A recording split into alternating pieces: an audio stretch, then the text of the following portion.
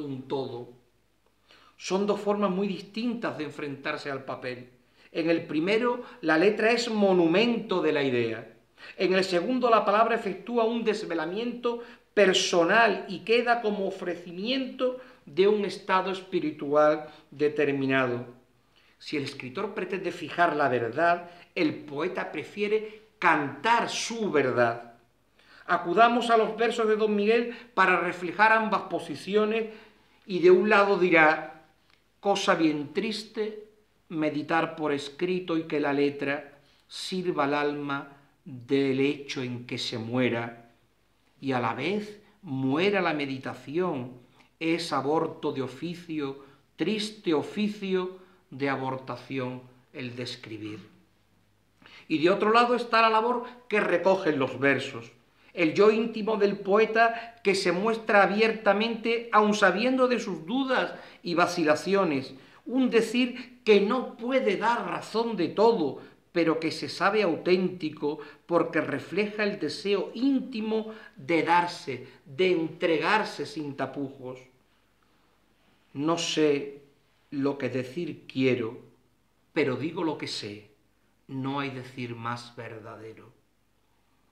En este camino el poeta no estará exento de desasosiego, pues sus miras están puestas en un proyecto tan osado como ese de alcanzar la eternidad. Y además quiere una inmortalidad que no se limite solo a dejar su nombre en el elenco de autores que aparecen en los manuales. Quiere permanecer por completo, con su voz intacta y resonante. Por eso las vacilaciones momentáneas, pero inevitables, que sufre, le agotan y también encuentran eco en sus versos. Así este personaje proteico, que fue rector, articulista, traductor, conferenciante, escritor, poeta, que se sabía conocido y polémico, no puede evitar una sombra de duda ante el destino final de esa fama mundana y cuestionarse de forma apasionada. ¿Cuántos he sido? Y habiendo sido tantos, acabaré por fin en ser ninguno de este pobre Unamuno quedará solo el nombre. Es entonces cuando el poeta vuelve sus ojos a Dios, el Eterno, solicitándole para él y para su obra ese premio de afán, de perdurabilidad, un galardón que pide humildemente quien se esfuerza por algo más que el sustento material y diario. Comer y trabajar no, quiero y hago mi obra, esto es mi vida, mi fe abona, mi obra al borde del común estrago, solo espero de ti, Señor, perdona, de esa mi vida, de esa mi obra en pago, una muerte inmortal como corona. El poeta es consciente de que esta capacidad procede desde lo alto y que no puede guardarse para sí el fruto de su labor está obligado a la entrega permanente, al sacerdocio de la poesía. Él no es sino el portavoz, el profeta que anima, señala el camino, conforta o advierte al lector. Así lo pone de manifiesto al inicio del Cristo de Velázquez. Broten del recóndito de mis entrañas ríos de agua viva, estos mis versos y que corran tanto cuanto yo viva y sea para siempre. Ni oro ni plata míos, lo que tengo Dios me lo dio y aquí os lo doy. Hermanos, que el juego todo de mi esfuerzo pongo para vuestro común caudal sin pizca reservarme, que no se engaña a Dios. Y en el prólogo que escribió para una frustrada edición del cancionero prevista para 1928 dejó señalada las dos notas fundamentales que pueden hacerse extensiva a toda su producción y que sintetizan su labor como poeta. Creo haber maridado dos pasiones, la del sentimiento de la vida humana deseándose divina y la del lenguaje en que ese sentimiento se expresa. Hay siempre en don Miguel un afán claro por vivir la vida plenamente, es decir, sintiéndola y pensándola, de ahí su diario existir para convertirse en que la vida sea la mejor materia de su obra, sin que nada tenga que quedar excluido, como decíamos, porque en definitiva todo lo constituye como hombre y como poeta. Diario poético es el subtítulo de su magna obra, como diario poético de confinamiento y destierro vertido en soneto fue el subtítulo que en 1925 llevaba su De Fuerteventura a París. Diario. Pero ese diario no es el interés inmediato por el aquí y el ahora como límites, sino como trampolín para mañana y el siempre.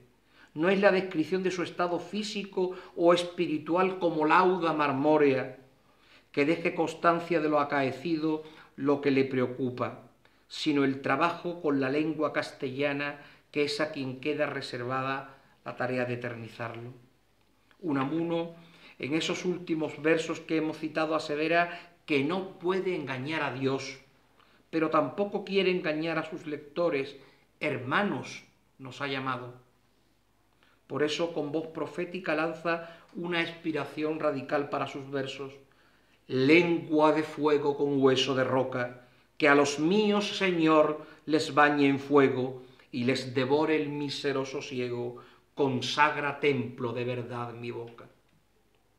La misión poética, creadora del autor está pues lejos de caer en el solipsismo o en la afectación, es una manera de proyección en el lector, busca un destinatario activo al que sacar del adormecimiento paralizante y vacuo.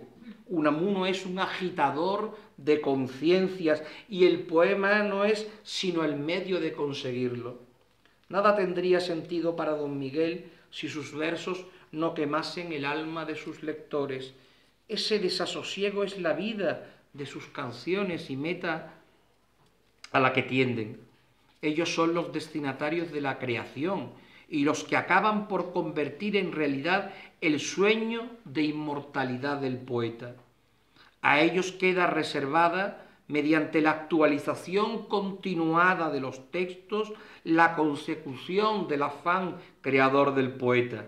Sin lectores no hay obra literaria.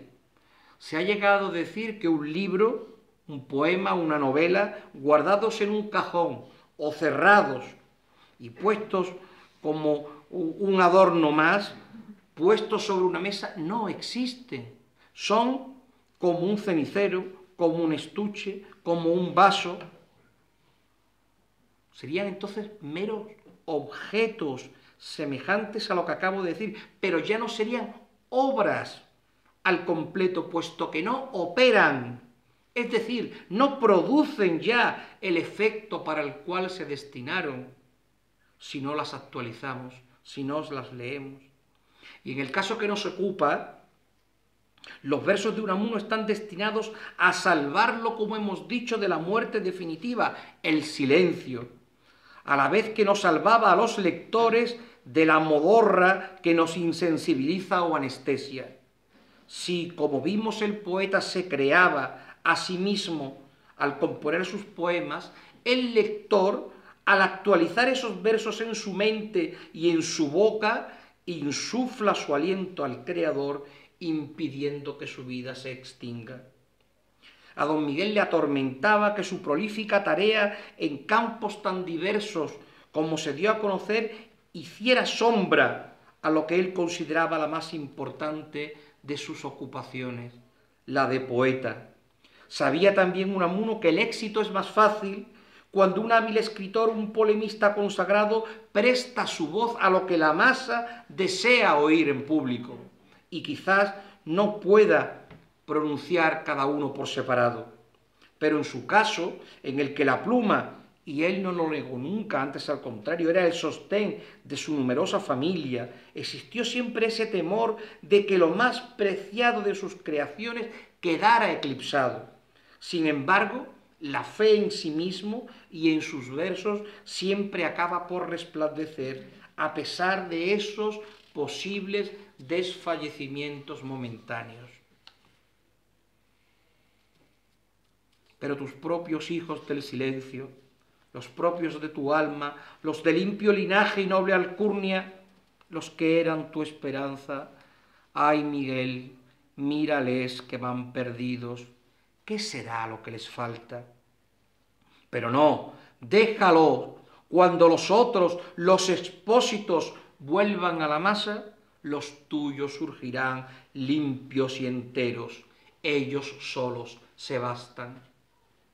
Al margen de las modas que trajo el modernismo hispanoamericano, la poesía de Unamuno es rara avis en aquel contexto lírico. Don Miguel espera en sus versos, sabedor de su limpieza y diferencia. No hay aquí ni, ni musicalidades delicuescentes ni vaguedades agradables y etéreas, sino una línea clara, una construcción firme y bien asentada. Ya Rubén Darío, como dijimos, o Antonio Machado supieron captar su tono, aunque el sentir general fuera en otra dirección. Estos mismos, como Juan Ramón Jiménez, también inaugurarían caminos que sólo ellos estaban capacitados para trazar.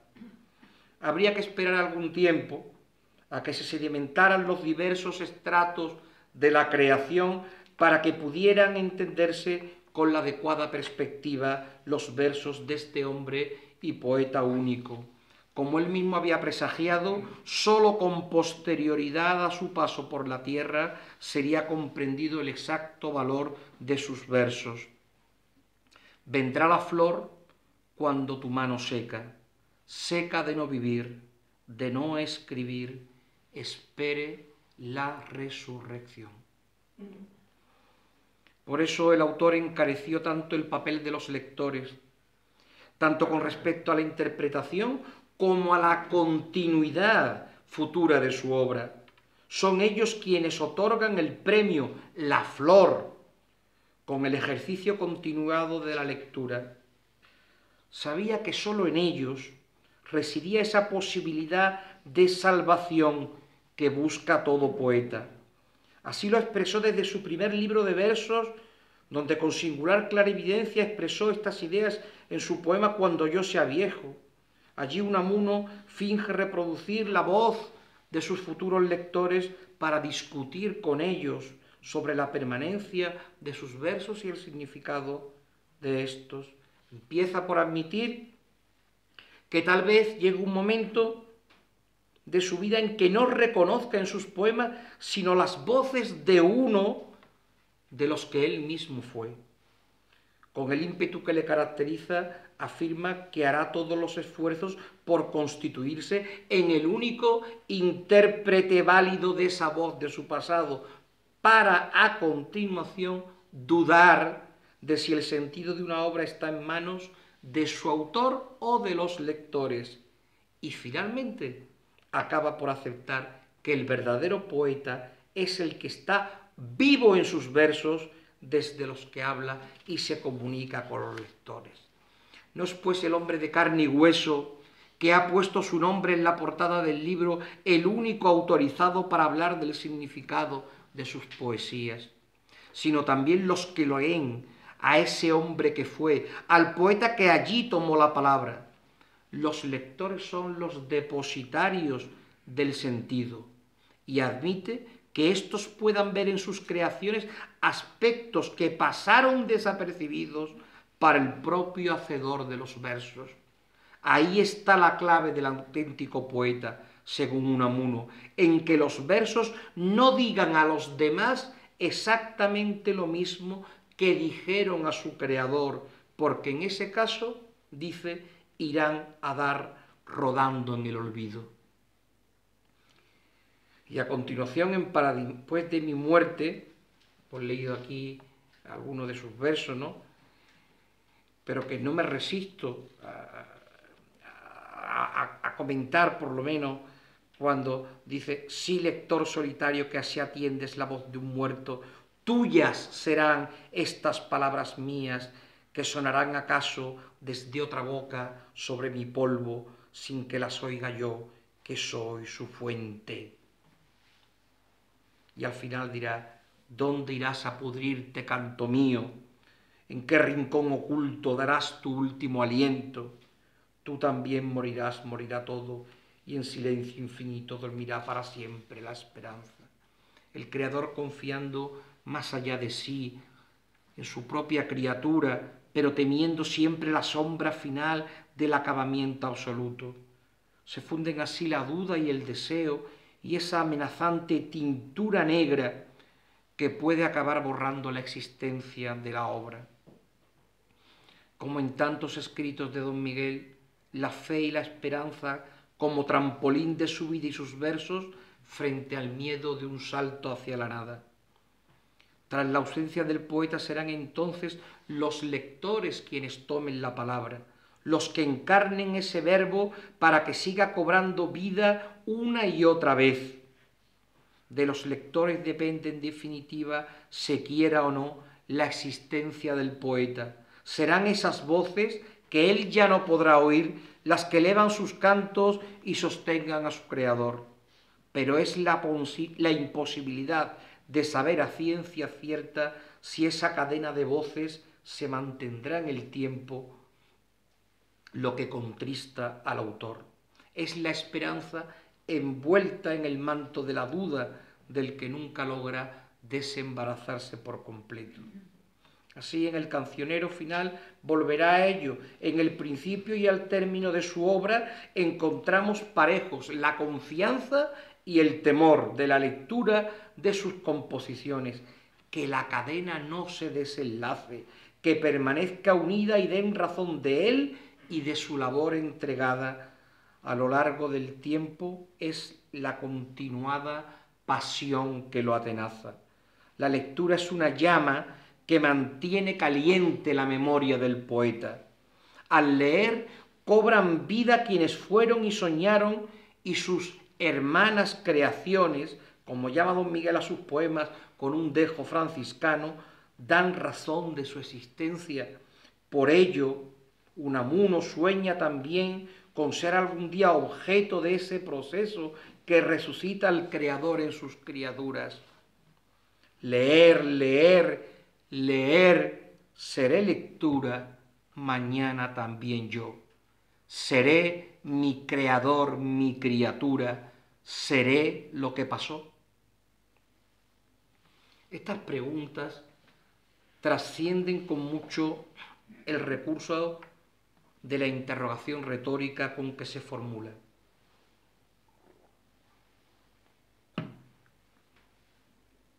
Esta figura busca el énfasis ante cuestiones que no tienen respuesta porque se desconoce o porque resultaría obvio lo que se dijera a continuación. Pero podemos verlas hoy como preguntas concretas que requieren contestaciones efectivas. Si para don Miguel era una incógnita saber si él seguiría o no presente entre los escritores que permanecerían vivos, releídos, canónicos, nosotros hoy podemos afirmar con rotundidad que sí, que lo ha logrado, que ha sido creador y criatura, que sus versos nos lo devuelven a la vida, lo actualizan, esto es, lo mantienen vivo en nosotros, que este acto al que ahora mismo estamos asistiendo aquí y ahora y esta asociación que lo patrocina son la mejor prueba de que Unamuno sigue siendo, siendo el que existió y recorrió estas calles y el que revive en cada lectura que hacemos de sus versos. Serían muchos los paralelismos que podemos hacer con otros textos, tanto en prosa como en verso, donde el ilustre rector incidió en ese aspecto de creador que se crea a la vez que hace su obra. Ya sabemos que Unamuno vuelve una y otra vez a recorrer determinados caminos para que no se nos pierda nada fundamental de su pensamiento y de su sentimiento. Así en la novela, así perdón, en el epílogo a la novela de Don Sandalio, jugador de ajedrez, fechado en 1930, escribirá, todo poeta, todo creador, todo novelador, novelar es crear. Al crear personajes está creando a sí mismo y si le nacen muertos es que él vive muerto. Todo poeta, digo todo creador, incluso el supremo poeta, el eterno poeta, incluso Dios, que al crear la creación, el universo, al estarlo creando de continuo, poematizándolo, no hace sino estarse creando a sí mismo en su poema, en su divina novela. La osadía una muniana tan precisa, tan certera, de tanta nobleza y trepicacia. Vamos terminando. Esa es la labor que corresponde al autor, pero que siempre quedará inconclusa si olvida, como hemos señalado, el papel que debe ejecutar el lector. Y a él Unamuno le concede una función fundamental. El destinatario y actualizador de su obra no es un mero reproductor maquinal de lo creado. Su existencia real, individual y concreta le proporciona una capacidad propia para interpretar el poema. No puede don Miguel pretender que sea un mero gramófono que reproduzca fielmente lo que quiso decirnos quien firmó la obra. Algo imposible, por otra parte. La interpretación ha de basarse en el texto, claro está, pero no cuarta la capacidad del lector, que desde su perspectiva es quien realiza la lectura. Unamuno quiere lectores, no exégetas ni filólogos investidos del poder de razón unívoca. Quiere que su obra viva para vivir él en ella y acepta de grado la transformación que el poema puede efectuar en cada lector al hacerlo suyo. El receptor es también copartícipe de lo creado y ha de nutrirse de lo que extrae del texto. Es más, no le importa tanto que ese receptor particular de la obra se esfuerce por intentar desentrañar qué quiso decir el poeta. Lo que verdaderamente le preocupa es la existencia de otro sujeto que sepa extraer de aquellas palabras un contenido que pueda aplicar a su personal existencia. La participación del lector en el proceso comunicativo presupone en Unamuno una perspectiva en la que el ejercicio de la lectura alcanza un valor intrínseco. Por ello, recordando unas palabras de su amigo Jean Cassou, nos advierte. Dice Cassou que mi obra no palidece. Gracias. Y es porque es la misma siempre y porque la hago de tal modo que no pueda ser otra para el lector que la lea comiéndola. ¿Qué me importa que no leas, lector, lo que yo quiero poner en ella si lees lo que te enciende en vida. Me parece necio que un autor se distraiga en explicar lo que quiso decir, pues lo que importa es lo que oímos. Y en verso también dirá, ve a que diga lo que quiera quien te cante mi canción. Nada le digas y espera que te haga su creación. Unamuno insistirá una y otra vez en su afán por implicar al lector en la problemática de sus escritos, los desasosiegos de un hombre, de un hombre verdadero, son los de todos. De ahí que don Miguel no quiera quedarse a solas con sus poemas, ni tampoco pide soluciones extraordinarias que él mismo es incapaz de proporcionar como si fuera un, vulgar boticario del espíritu humano. Lo que pretende es hacer partícipes a sus lectores de esa inquietud interior que siente de continuo y lo impulsa a escribir. Quiere comprometer a quienes le leen en el proceso de la creación, hacerlos también, por tanto, poetas. Quiere, en definitiva, que piensen y sientan con igual intensidad a como lo hace quien pone su firma al pie de sus versos. Y yo para concluir les diré, dice don Miguel, que si quieren soluciones, acudan a la tienda de enfrente, porque en la mía no se vende semejante artículo. Mi empeño ha sido, es y será, hoy será, que los que me lean piensen y mediten en cosas fundamentales y no ha sido nunca el de darles pensamientos hechos. De este modo queda suficientemente claro que para Unamuno el fin de la creación literaria no puede ser, por tanto, decir algo, sino más bien incitar o azuzar a los lectores a que completen la tarea que arranca del poeta. El autor pone su parte, pero la obra queda inconclusa sin la participación de los destinatarios. El texto escrito por el poeta, el novelista o el dramaturgo dicen a la vez lo que su creador ha puesto en ellos y lo que añaden los lectores. El receptor no es una especie de estación término donde acaba un trayecto. Son en todo caso los raíles por los que discurre la obra rumbo a la memoria colectiva. Mientras no falten lectores a estos versos de don Miguel, él seguirá vivo en su poesía. Esa fue su más íntima aspiración y por ello quiso ser recordado. A nosotros nos corresponde cumplir su deseo. Su vida se proyecta desde esos renglones con ritmo y melodía. Como él mismo anunció, en la memoria, en la nuestra y en las de quienes nos suceda, está vivo el poeta. Allí buscó refugio y permanece a salvo de los avatares del tiempo. Allí nos reservó, junto a él, un espacio. Allí podemos encontrarlo cada vez que nos apetezca oírlo y oírlos en él. Terminemos, pues, con sus propias palabras. Me destierro a la memoria, voy a vivir del recuerdo. Buscadme si me os pierdo en el yermo de la historia. Que es enfermedad la vida y muero viviendo enfermo. Me voy, pues me voy al yermo, donde la muerte me olvida. Y os llevo conmigo, hermanos, para poblar mi desierto.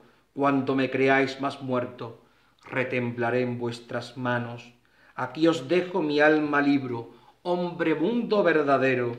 Cuando vibres todo entero, soy yo lector que en ti vibro. Muchas gracias.